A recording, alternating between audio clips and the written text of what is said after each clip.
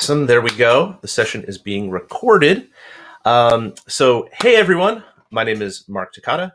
I am the technical evangelist for Adobe ColdFusion. And welcome to my webinar. Today we're going to be speaking about NFTs, ColdFusion, and you. Um, before I start, uh, just a little bit of a change to the normal layouts that you might have been uh, familiar with in the past. Uh, we've changed it up a little bit with the way that this is uh, all laid out. We now have a Q&A uh, pod for you to ask your questions so that um, Aishwarya or myself can go in and, and answer directly questions instead of having to go back kind of through the chat because um, that can get a little bit messy. Uh, feel free, of course, for everyone to to chat and you know talk amongst yourselves in the uh, in the public chat. Um, if you have direct questions about NFTs or anything else for me, uh, for that matter, uh, please go ahead and put it into the Q and I, uh, Q and I, Q and A. Q and A is a book, Q and A pod, uh, and we will go back uh, potentially at the end, possibly you know during as as I'm talking as well, if it happens to be something I can answer right away. So with that uh, with that done, uh, let me tell you a little bit about myself. So I am a developer. I'm a programmer. Uh, I know a dozen or more languages that I've used professionally over a career spanning uh, more than two decades. And Adobe hired me last year, about oh gosh, almost a year ago, to be the evangelist for ColdFusion. And the things I do are things like this. I do webinars. I speak at conferences. I'm I'm in the Slack channel. I'm in the Facebook channel. I'm I write blogs. I travel around. I speak to customers, and I help communicate customer needs and wants and pain points and and requests uh, and all of that to our engineering team to try and connect people uh, to the support team. I'm kind of a hub, so my door is always open. Uh, at the end, you'll see an email. You can always email me. Feel free if you guys are having issues, if, if you're having problems you can always email me uh, and I will get back to you as soon as I can. So, without further ado,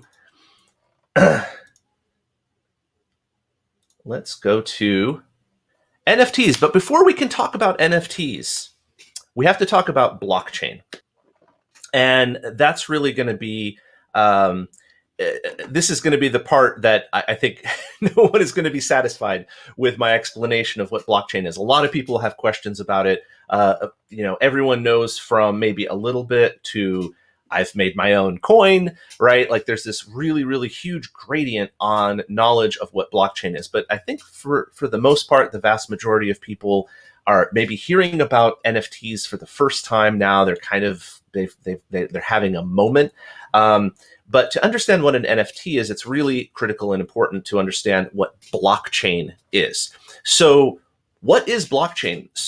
It's a ledger, um, and a ledger is a a one by one, basically linear record of some sort, right? And so you can think of this if you have a ledger at a store, that ledger is showing you the things that were purchased, for example, or things that were bought right? Um, that's one example, right? So basically, a blockchain is like that, except that each position in that ledger is fully transparent. It shows you what's inside of it.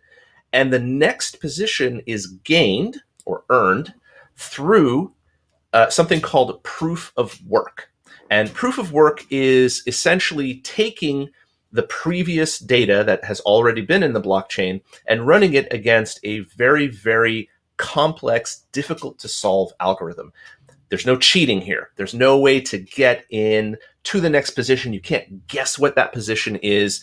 You can't fake it um, because each position will show you what was in the previous ones and so on and so forth. So any position in there that's inserted or injected or in some way modified will very very quickly be seen as a fraud because it'll just break the chain. It'll break, break the blockchain. Um, and one of the ideas behind blockchain is that you can have ownership of a particular block a particular position. Oh wait a minute. People are saying no audio or video. Uh, it's weird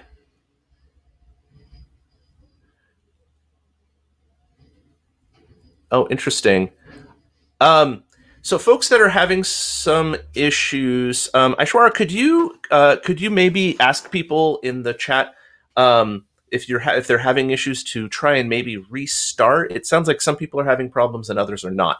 Um, so, hopefully, that gets resolved for the folks that are having an issue. Um, you may have to switch browsers. I'm I'm terribly sorry about that. Um, we did just change the technology that's running this, and so uh, potentially, if you have an older browser, it may not work. Uh, sorry about that. Um, moving moving along though um, so you've all heard about block uh, you've, you've all heard about bitcoin i'm sure right unless you've been unless you've been under a rock a very large rock you, you've you've heard about bitcoin. And so what bitcoin essentially is it's taking each of those positions in the blockchain and assigning those ownership potentially to someone um, that that you know buys it or in some other way gets ownership right? You can grant it to people if you had ownership before. Um, you can mine it uh, which you've i'm sure heard about these bitcoin miners that have these giant arrays of computers solving those incredibly complex mathematical equations that earn you the and, and this should be clear by the way it earns you the potential to get the next spot in the blockchain. So if a, if a multitude of people are trying to to get it, just because you're trying to get it does not necessarily mean that you will get that spot in the blockchain. Um, so it, it, can be kind of a little bit um, a little bit nuts. So let's talk about what an NFT actually is. So the, the letters NFT which I'm considering just calling Nifty because it would drive people absolutely crazy if I did that. But I'm, I'm gonna I'm gonna hold off. Um, NFT stands for non fungible token, of which you're probably like, what fungus fungus token? Like what is that? What is that? So um, let's talk about what a fungible token is. A fungible token is is a token or maybe like let's let's give an example so um a dollar coin right um if i had a dollar coin and i gave you a dollar coin and you gave me that you know your dollar coin back those things are are equal they're they're fungible they're replaceable there's no one that is different than the other they have the same value um, they're transferable et cetera, et cetera. You can just pull them a- across. And so you can think of a coin, in this case, as a token, but it can be anything, right? It can be a dollar bill. Um, and, you know, these days, who actually uses cash, right? So uh, it can be any uh, type of currency across the planet that you can transfer. And pretty much one, you know, one dollar, one euro um, is the same as, as, as another, right? So that's that's a fungible token, and Bitcoin is like this, right? One Bitcoin is the same as another Bitcoin. It doesn't really matter which position in the blockchain you own; it's still worth well, it's worth less today than it was last week. Sorry. Sorry, crypto folks. Um, but that's kind of the way the things roll. Um, so, okay, well, what about like what if it's a non-fungible? Like what what does that mean? Well, let's take that that coin again.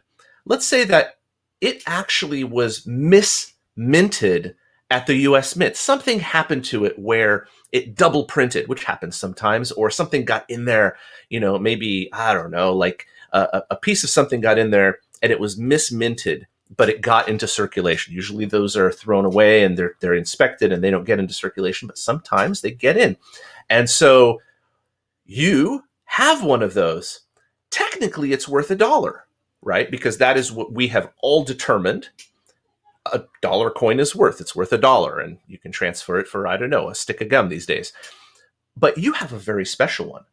And you probably wouldn't want to transfer that. Coin collectors might want that particular coin. It has value because it's derived from market forces. There's coin collectors for whom that particular coin has value. How much value? Well, it Depends how much they're willing to spend, right? And so in this case, now we have a non fungible token. We have a token which is unique and is provably unique, right? Like you couldn't you couldn't fake that. You couldn't like make a cast of it and fill it with whatever and do silver paint. Like you, you that would immediately be seen as, as a fraud, right? Um, so that's kind of what NFTs are in a digital sense, except that not only can they be, you know, some kind of coin, which usually they're not really coins because they'd have to be unique in some way, but they're images, they're music, they're 3D objects. Uh, occasionally they're concepts. somebody somebody minted an NFT, which was like in their imagination, and sold it for a quarter million dollars. We live in the weirdest timeline. Um, but uh, this is kind of where NFTs are, and people are using them for art. Um, some people are using them to um, to certify things and and put them on the blockchain. Now, why would you do that? Right? That's always the question. Like like NFTs. Oh, I can just right click copy, and I get the thing that that you you you you know you, you say has value. I got it for free, right? Like why is it an NFT? Well, it's not just the the image, right? In some ways, it's the stake of ownership that is also valuable. Like if you purchase a painting, a physical painting, right? And then someone steals it from you, right? Uh, and it's a little difference because in in this case, like you know, it still exists in in, in your collection if it's an NFT.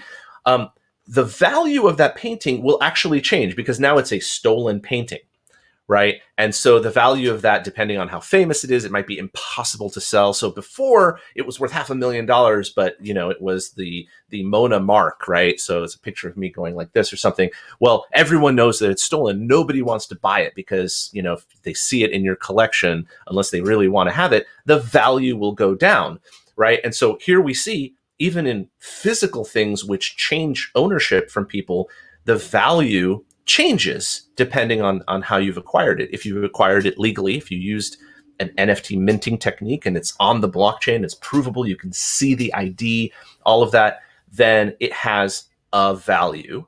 Um, you know, what's that value? I don't know. It depends who is buying it. Um, there are NFT pieces, there are pieces of NFT art out there that are fetching, you know, hundreds of thousands of dollars per per image. Um, and some of them also, by the way, it's you know they sort of cheat. Like if you own a particular, I think Bored Apes is like this. If you own one of those using NFTs, like you have an ownership stake in them on the blockchain, you're part of an elite group that can go to I don't know clubs. Like it's a it's a way into a club or something like that, right? So they kind of added additional things to it, but you can kind of see it's a it's a provable, very very difficult, if not impossible, to fake method of showing that you have an ownership of a particular non fungible token on the blockchain, right? You can you can show them here's my ID, here's my here's my ape, right? Like I own this. You can see that it's in the it's in the ledger. It shows that it was transferred to me, and now I own it. Anyway, okay. So enough about NFTs, um, because I could go on and on.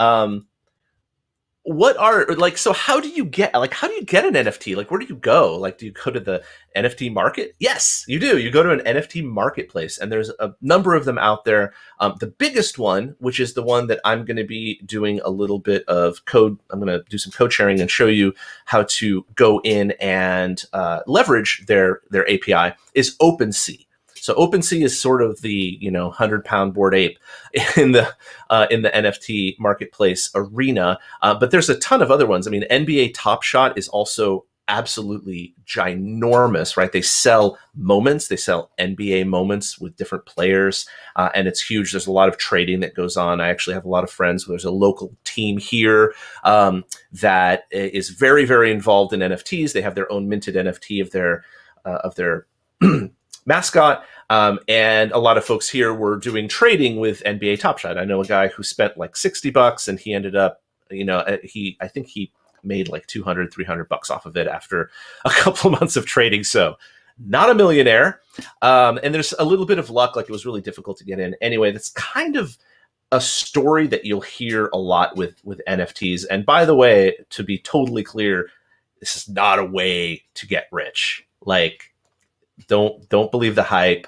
Um, you know, can you? Yeah, I mean, people do. People have. People have paid off their houses. Um, and if you're a brilliant artist and you have a great idea, um, yeah, I mean, you know, go for it, do it. It's fairly easy and cheap to get into. These marketplaces just require you to to to buy like a small stake in whatever blockchain they're minting on, um, so that you could do what's called a gas fee, and a gas fee pays for your initial like entry into the system. It just pays for some of their electricity, basically, uh, and their work to, to get it set up. So to give you an idea, um, I actually I minted a few things just you know for a demo. Yay, fun! Um, and I you know I think I put in like a hundred bucks worth a while back, and I still have I don't know like 70 of it after spent after like messing up on a different NFT setup and having to un mint something, which is very expensive, by the way. They don't like you removing stuff from the blockchain. It's very expensive. It's very um,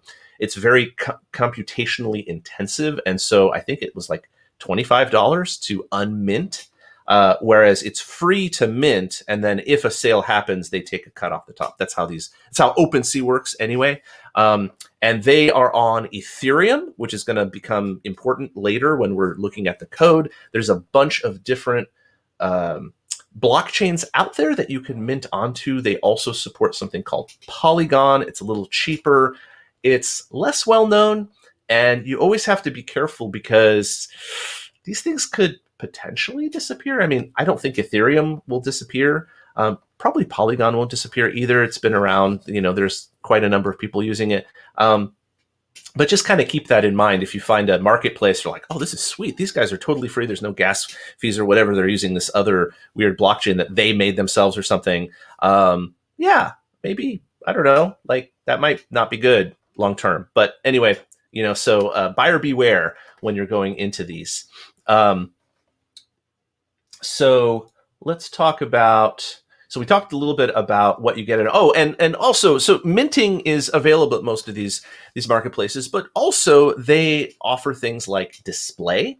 Um, they offer things like um, sales and tracking of the things that you've sold.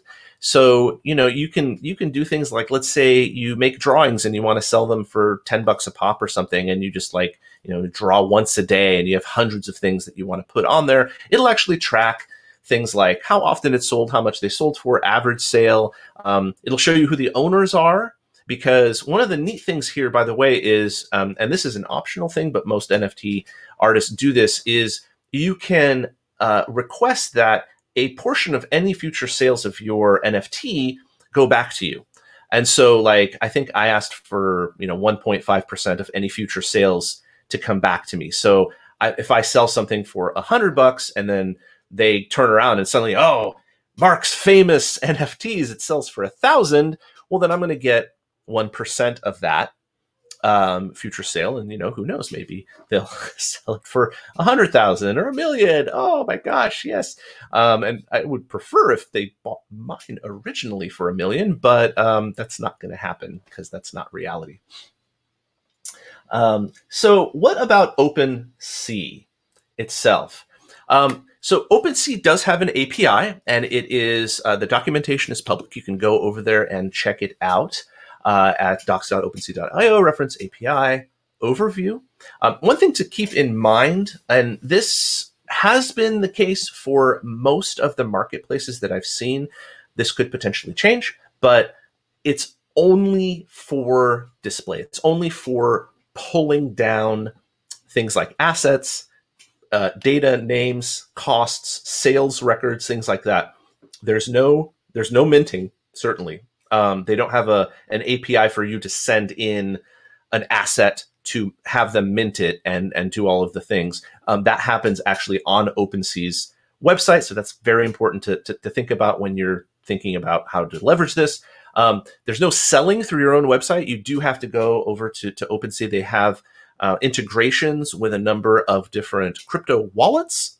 Uh, and so that's again important. And that's really not something you'd want to set up yourself. That's complicated and I don't know. I, I, would I would be very nervous, kind of working in this in, in, in that world. They've figured it out and they've made it really easy. Like you can just go there and you know if you I, I use MetaMask for my wallet, but if you just put in your wallet info, boom, you just go in and it works and goes. Um, and you cannot buy directly uh, through your own interface.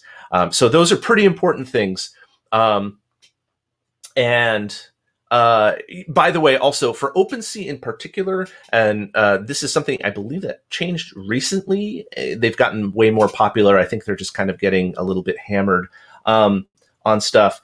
But basically, uh, they have a rate limited API right now for some of the things. Um, for some, it's just open, uh, like to pull down, I believe, like collection, like top level collection info. You can just do it all day long and they don't really care. Uh, pulling down assets, though, so pictures of the actual NFTs, uh, all of that, like the actual deep, the deep dive, like drill down, double click data, actually is behind a rate wall, unless you get an API key from them, which you have to go in and request. And they ask to, you know, like, where is it going to be? They ask you why you're asking for an API key. And they actually, um, they kind of manually, they manually grant these. And so I asked for an API key. So this, this actually changed. I had, I had a whole set of uh, code for all this. And then a few days ago, I went in to just kind of clean up and dust off a couple things and everything broke because they had added in this thing. They actually put themselves behind Cloudflare, um, just I think because they're very popular and they're getting hit really, really hard, and probably to prevent themselves from getting uh, denial of service attacked by folks because some people are like that. Um, and so I requested at that time several days ago. I think it was Tuesday, maybe. Uh, I I requested an API key, and I still have not received it. So um, you know, this is something to kind of plan. You can definitely build out your uh, your prototype, your proof of concept, your MVP without the API key, but to to send it to production where it's actually going to like get hit. I think the rate limit is something like 20 per second, which is not bad. Um, 20 calls per, per per second through it, which I mean, you know, that's fine for testing. You could even have a team testing if you have five people going in and, and kind of going. But the moment you put that out, um, and if you have any kind of audience at all, it, they're going to like hit that that rate limit. So definitely think ahead and get that API key request in. Uh, you'll probably want something and somewhere to show them like this is the place that it's going to be. So if you have a website that you're going to be integrating this with, uh, send them that, which is a great foray into why in the world would you want to do what I'm going to show you here? Like what? Like there's a website. Uh, OpenSea has a website that you can go to that shows all of your NFTs. Why would you ever want to not like utilize that? Well, there's a few reasons. So one could just be that you don't like the way that their website display looks. That's, you know, that's a totally fair thing. And in fact, I'm going to um let me just pull let me just pull that up. So this throw some code up here too.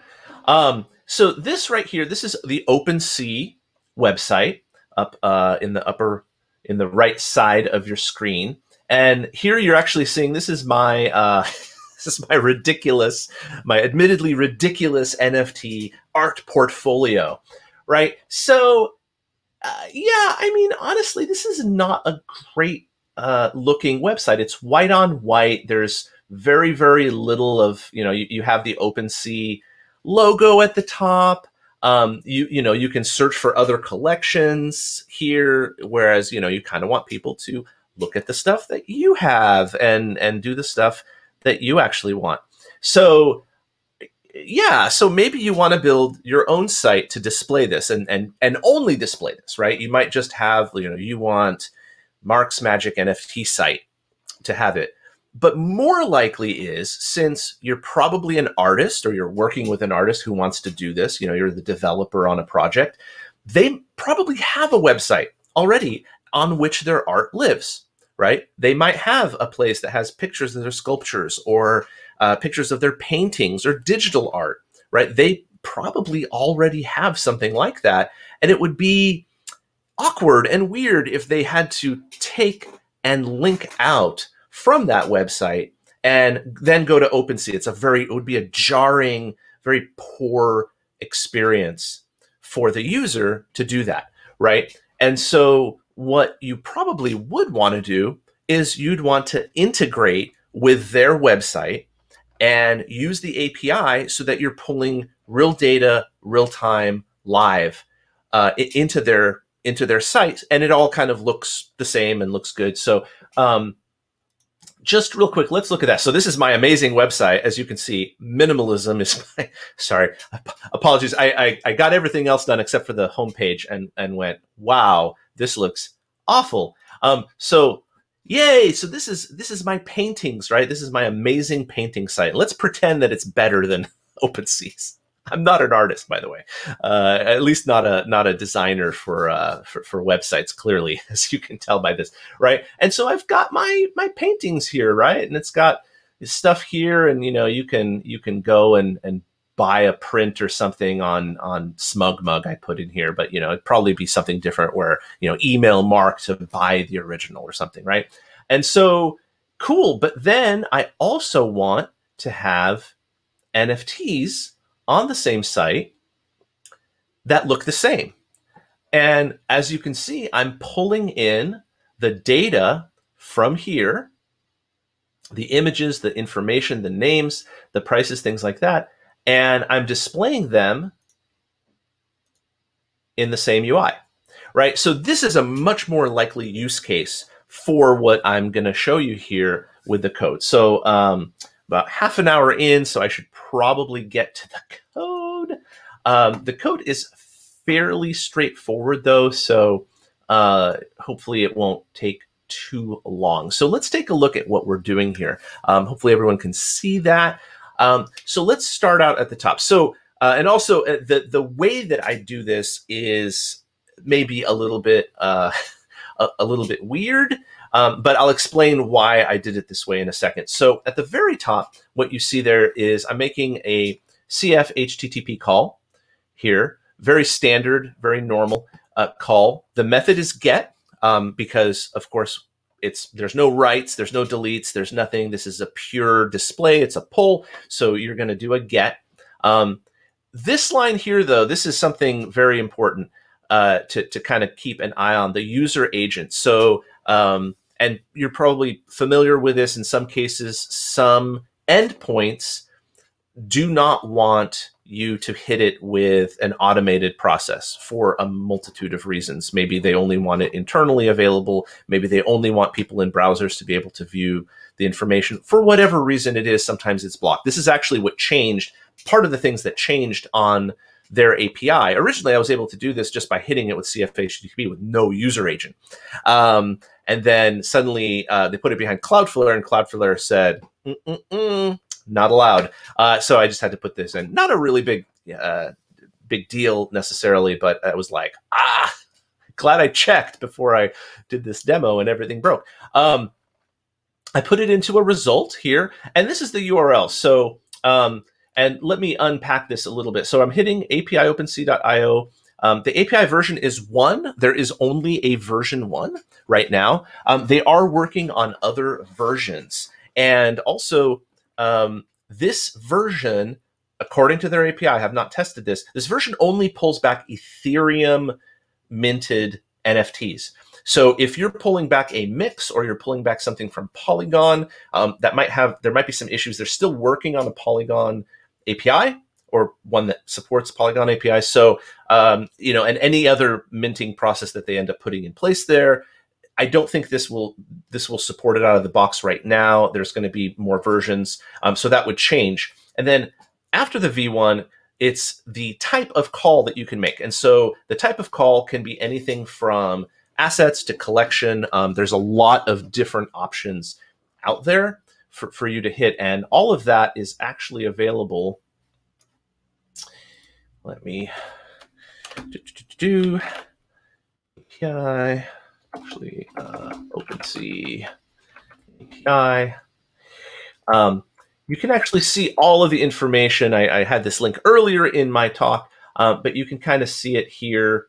Um, you can see there's there's assets, there's events, there's the account, uh, collections, and it kind of shows you all of the things that you can do here. Um, as you can see, Polygon uh, API's V2 API will be coming.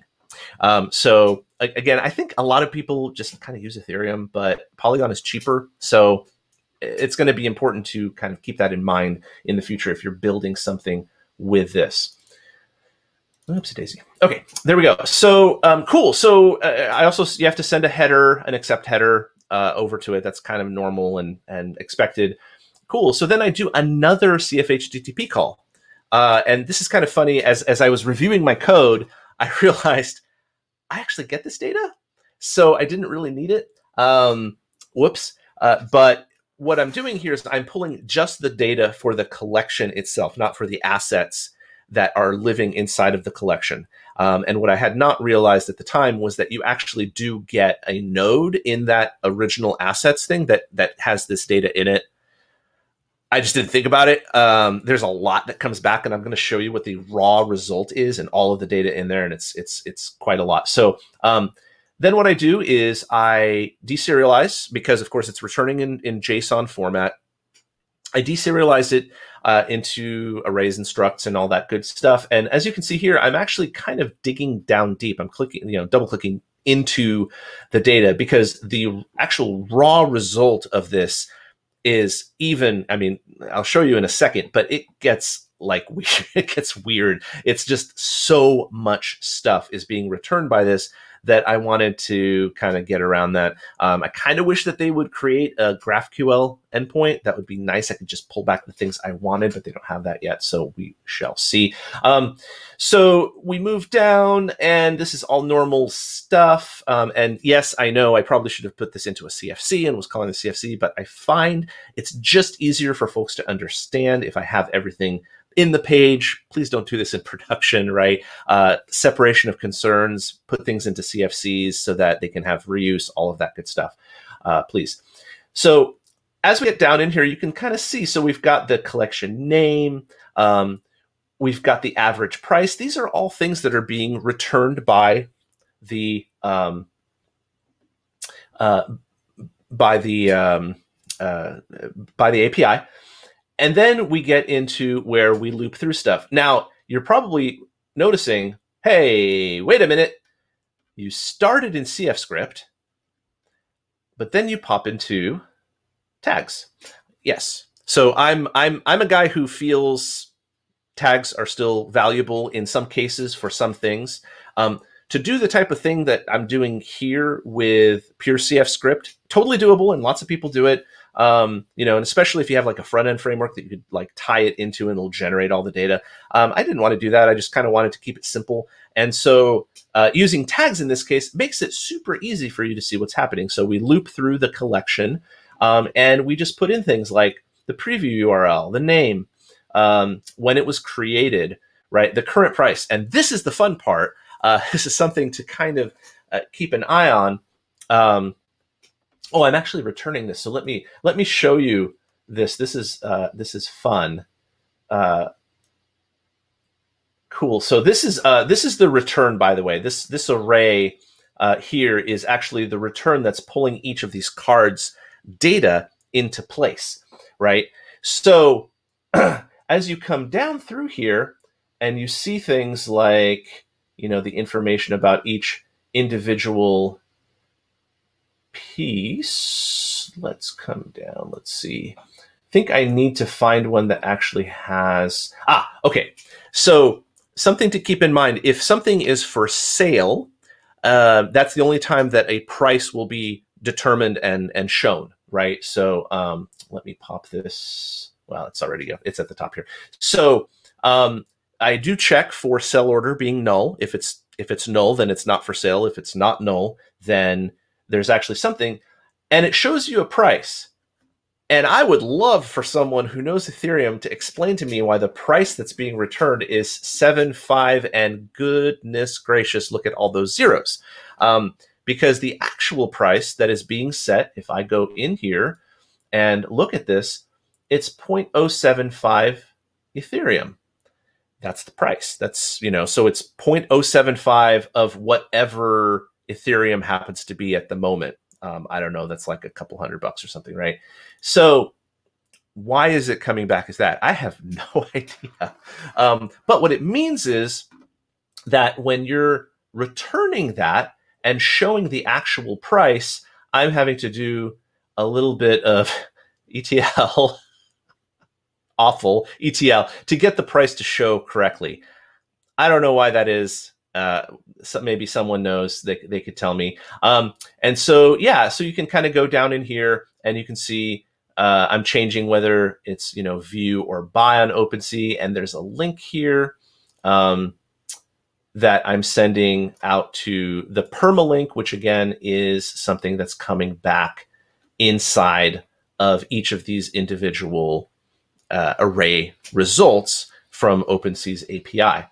Um, now, if I scroll down far enough here, and my thing doesn't crash, Here's the second struct. So this is actually, this is the struct that I'm pulling back just the collection data from.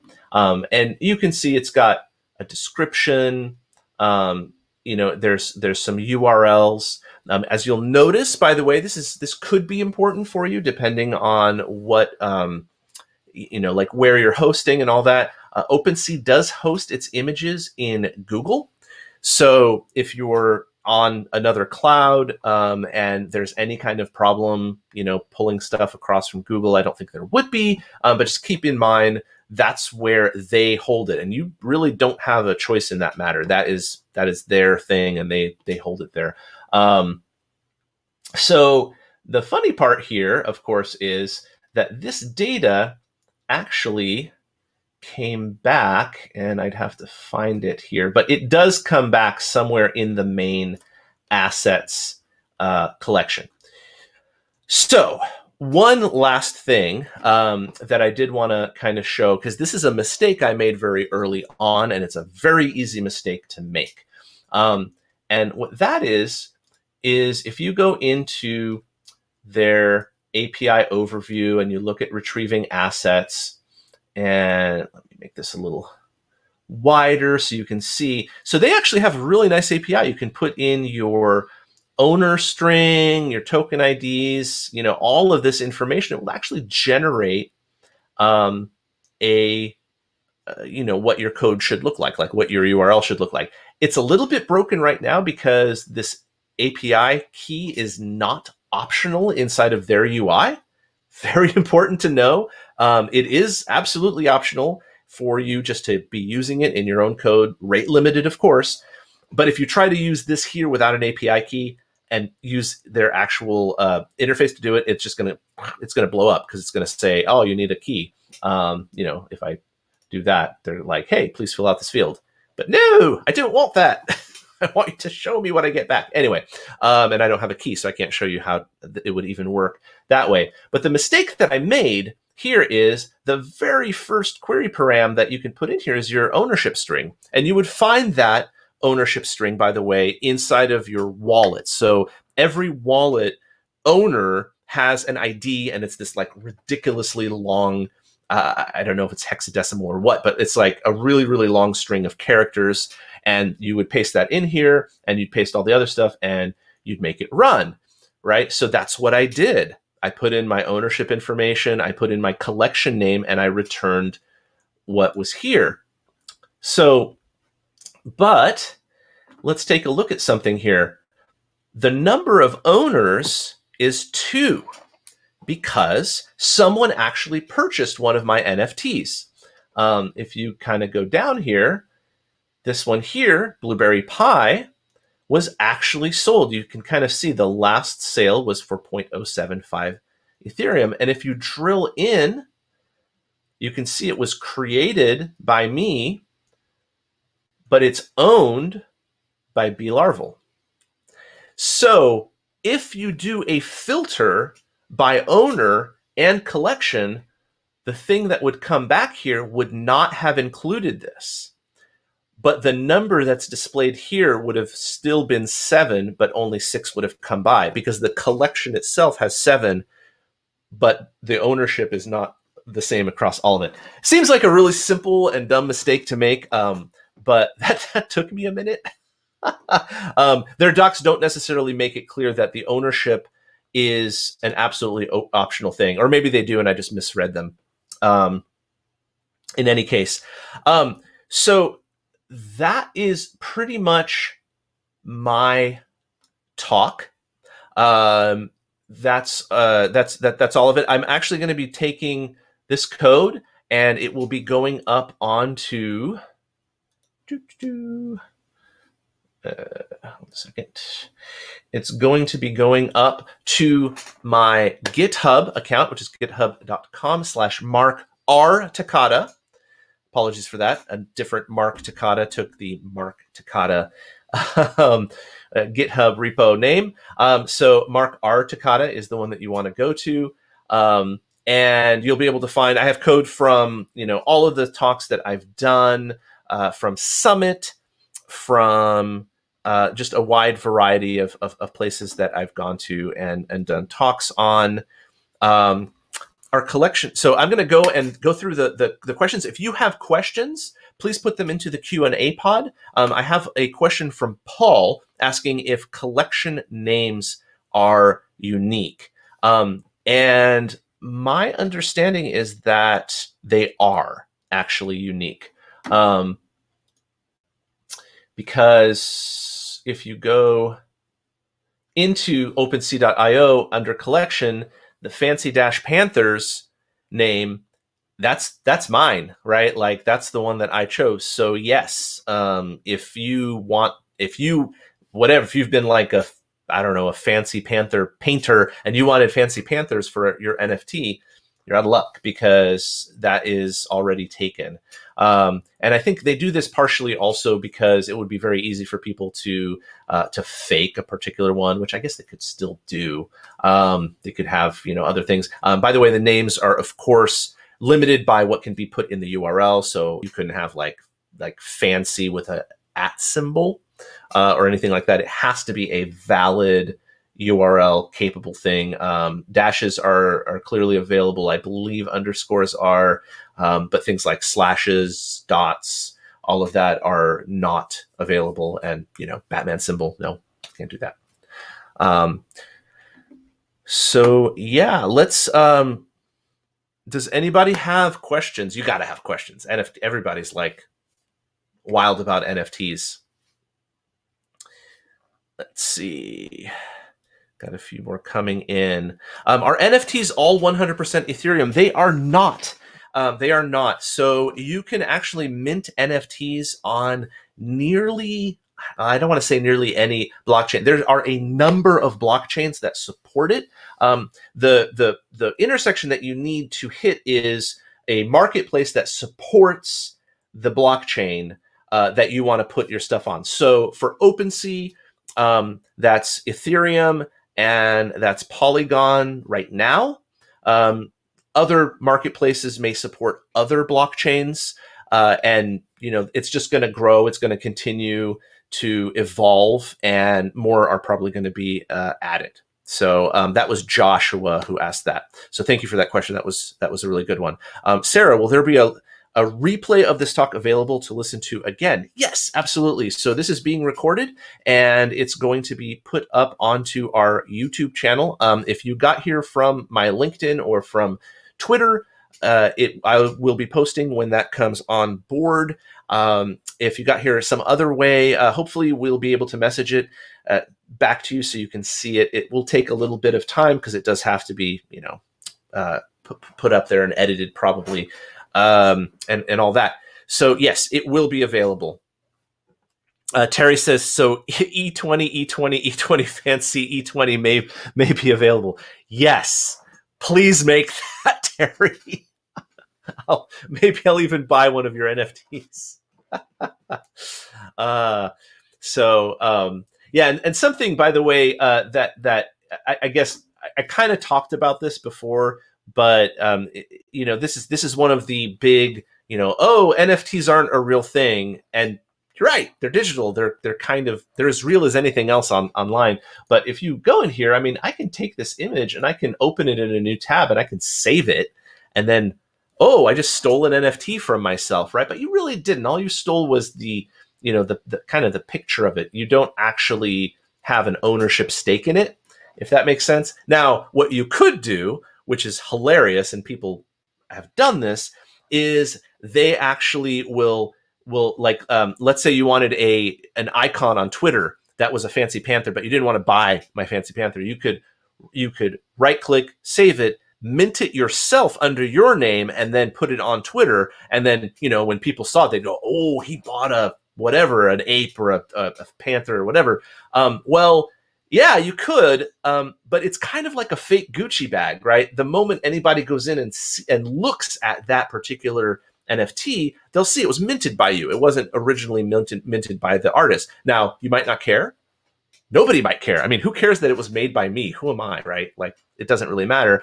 But some people do care. Some people care about who the artist is behind the piece of art. It's just kind of a thing. So, um, let's see. So, NFT is sort of a digital sign on blockchain when sold. This is from Rama. Um, yes, it is. It's it's like it's digitally signed using a very complex algorithm in some ways, um, and it also includes things like who the original ownership was, the history of the item, um, a picture of the thing or the music or whatever the actual item is. It's all kind of cooked into that that thing. So yes, that's kind of a uh, thing. What kind of server resources are needed to run a basic NFT mint? Um, I don't have a good answer for that because it would depend on the blockchain you were trying to mint onto. Um, but just generally speaking, it takes a lot of horsepower to do this. Um, when people are, for example, uh, minting blockchain or you know whatever you want to call or minting uh, um, sorry uh, bitcoin. When they're mining bitcoin right they have warehouses full of rack servers. Like it's ridiculous. It's it's like you could heat a small country with the amount of power I, and literally i mean i mean this literally like they're huge warehouses with millions of dollars worth of of equipment in there. And and so to actually like run your own mint I mean, could you do it? I don't know. Like, do you have a, have a rich cousin who owes you a favor? I don't know. Um, but uh, it, it, would be pretty much out of the range of most normal people. Um, where's the YouTube channel? Um, actually, um, Aishwarya, could you put the YouTube channel uh, into the chat? Um, I can actually hold on.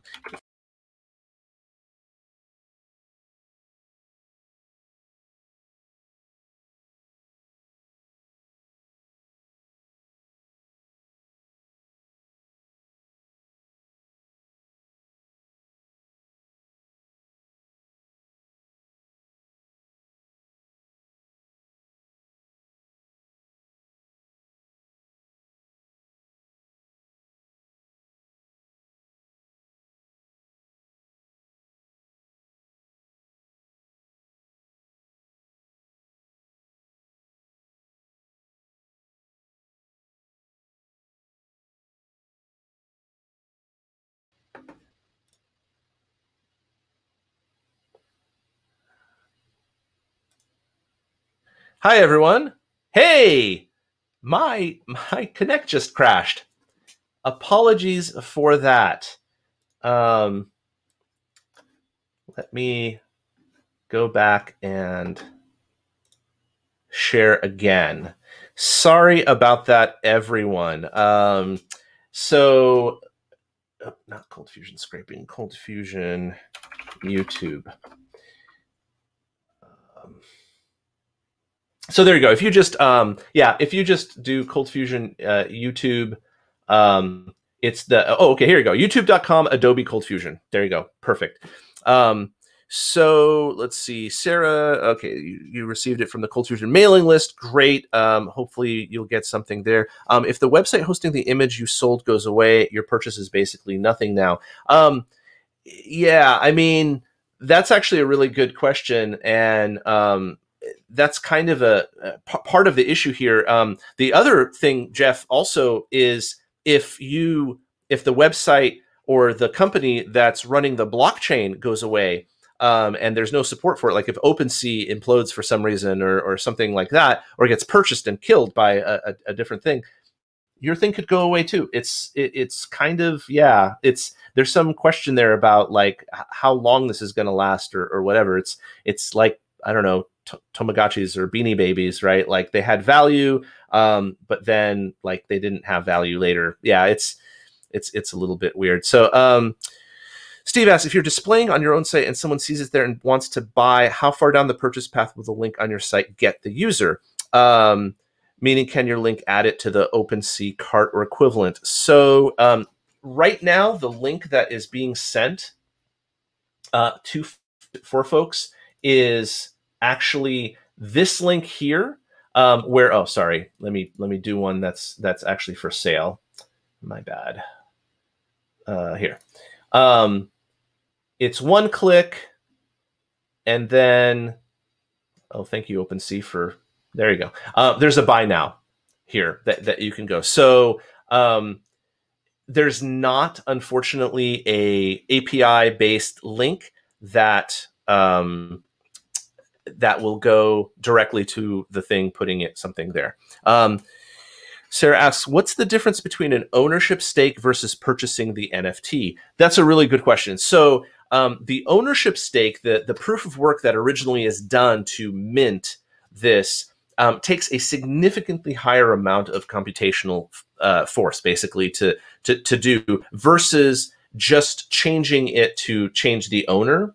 Um, I think I might be wrong on that actually, but um, there is a difference though. Basically, the ownership stake is creating it. Um, purchasing it just changes who the owner is, and it may actually be that it's a similar amount of computation. Like a lot of this is sort of um, shell gamey, right? Um, and and hidden behind the scenes, which is why a lot of people are very nervous about NFTs.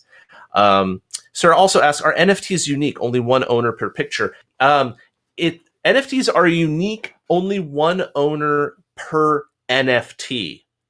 Um, so if somebody took that picture and minted it under a different NFT, another position on the blockchain, the pictures would be the same, right? Because you copy and pasted the picture and and it's the same thing. Um, the idea here is who was the artist, who was the original person who who, who did this, um, and that's really the only difference. Now, does that make a difference in the value? Questionable, right? Um, you know, what's to say that somebody else, like maybe someone famous, decides that they like Fancy Panthers and they're going to mint them, and then people will go, "Oh, I want to buy it from that person because they're listed as the person minting it, and that's more valuable than Mark." Like, who the heck is Mark? So, yeah, there's um, there's issues there. Um, besides pictures, music, what other things might people sell using NFTs? Um, pretty much anything that's digital can be sold. So um, 3D uh, items, uh, animations. Um, some people are are selling NFTs of actual productions of of like movies. Like you can gain an ownership stake in a particular mini series, for example. Like there's all kinds of things. Um, some of it is just limited by our imagination. Like I said, somebody minted uh, a pretend invisible statue uh, as an NFT, right? And who would buy that? I don't know, but someone did, and they spent like a quarter million on it, which I'm like, oh my gosh. And we all work nine to five, and this guy's like making a quarter million off of a pretend statue. Um, yeah, it's it's it's a little weird. Um, Joshua Rose, can you address smart contracts in NFTs? Does the API? Um, Joshua, I you know I don't know if there's access to that. Um, you'd have to kind of dig down into the API. I was kind of just kind of surface leveling it um, a bit. And then Sarah lost video. I don't know when that was, but um, okay. So we're getting pretty close to the end of our time. Did anyone have any other questions?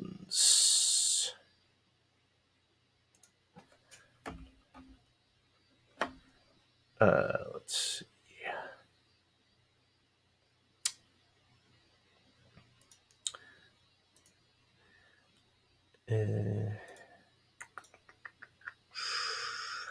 Um, hopefully, people are still seeing my video feed and hearing me. Maybe.